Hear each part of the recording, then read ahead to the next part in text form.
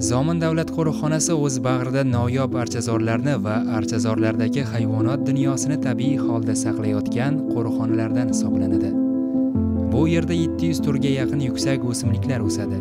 Ularning 13 turi o'zbekiston respublikasi qizil kitobiga kiritilgan. 48 turi esa g'arbiy turkiston endemik turlari hisoblanadi. Shuningdek shifobaxsh o'simliklarning 20 turdan ortig'ini uchratish mumkin. Qo'riqxona hududidagi tog'lar dengiz sathidan 1700 metrdan 4000 metrgacha balandlikka ega uch zonani tog'larning pastki o'rta va yuqori qismlarini o'z ichiga oladi.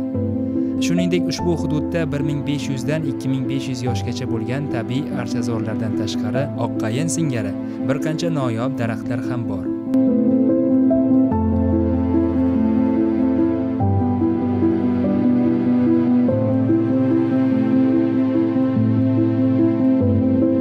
Asosiy maqsadimiz qo'riqxonadagi mavjud hayvonot va o'simlik dunyosini borligicha asrab avaylashdan iborat. Ya'ni bu nimani tushuntiradi? Bizdagi e, ilmiy xodimlar tomonidan hayvonot olamini o'simlik olamini o'rganib monitoring qilinadi. Va monitoring natijasida bizda qo'riqxonada yilda ikki marta sanoq o'tkaziladi. Bahorgi sanoq va kuzgi sanoq. Sanoqlar natijasida e, qo'riqxonadagi mavjud hayvonot hayvonotlarning qaysi biri ko'paymoqda qaysi biri kamaymoqda bu shu monitoring ishlarini e, amalga oshirib boramiz. Qo'riqlov bo'limining vazifasi esa o'sha mavjud o'simlik va hayvonot olamini asrashdan iborat. Bunda qanday?